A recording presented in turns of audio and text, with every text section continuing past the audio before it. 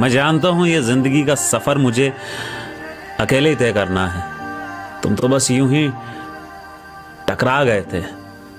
गलती मेरी थी कि पल दो पल के मेहमान को मैंने ज़िंदगी भर का हम सफ़र समझ लिया था। चदरिया जीनी रे जीनी चदरिया जी